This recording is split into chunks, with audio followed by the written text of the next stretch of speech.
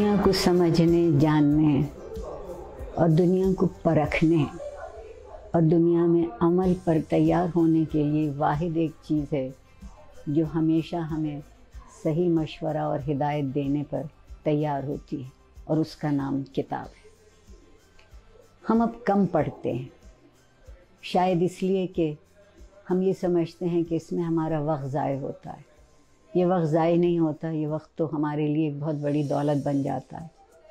लिखने वाले लिखते हैं, कोशिश करते हैं, अपने एहसास, अपने तजर्बे, अपने मुशाहदे को एक तहरीर बनाकर सामने लाते हैं।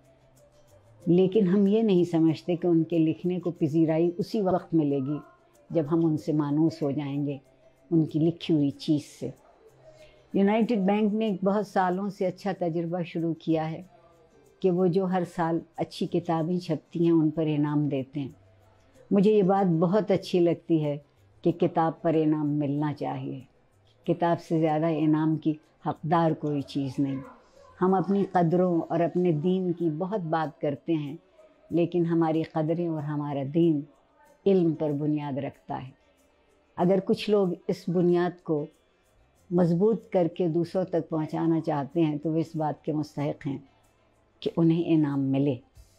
और जो ये चाहते हैं कि उनका लिखा हुआ वाकई इस मैार का है कि उसको इनाम मिले, मैं उनसे कहूँगी कि वो इस मुकाबले में ज़्यादा से ज़्यादा शिरकत करें और अपनी किताबें यू के मुकाबले के लिए भेज दें।